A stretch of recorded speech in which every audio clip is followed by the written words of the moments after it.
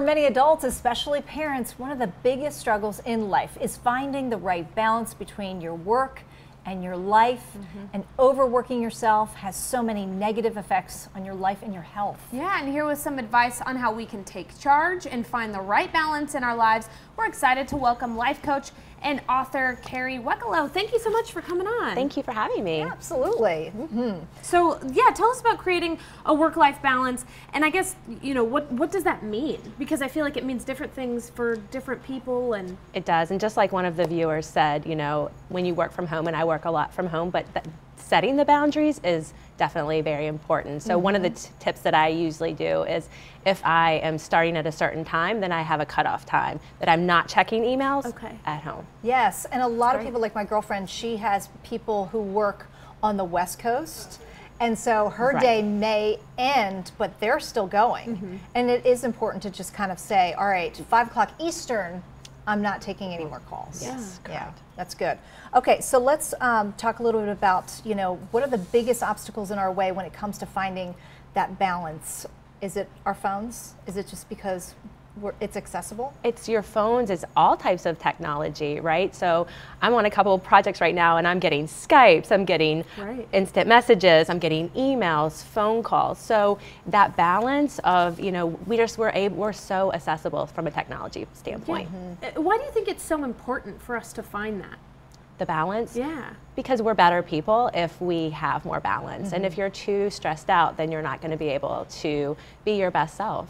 All right, give me some more tips. What should I be doing yeah. uh, to okay. ensure that balance? Right. My, my best tip is to say no.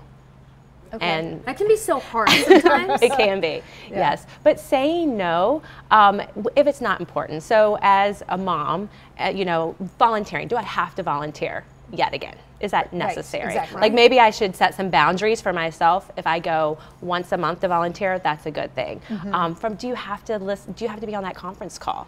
Again. Mm-hmm. Um, we get there's so many calls and just meetings and such. So trying to say no to you know what's really important. Mm-hmm. Okay. okay. and then you say we should spend more time focused on people.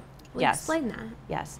Well, people. I mean, in this day and age, we're so busy, and we don't take time to actually like listen yeah. to people. So just taking that time to really you know, to people on your team, like, how are you doing today? What's going on? Mm-hmm. And really looking at them as an individual versus, you know, do, do, do, do, do more. So mm-hmm. um, just really that you know, like you are a person and I see you for who you are. And then creating a culture at your companies too where yeah. your people come first and if they do have a problem, they know that they can come to you. Yeah.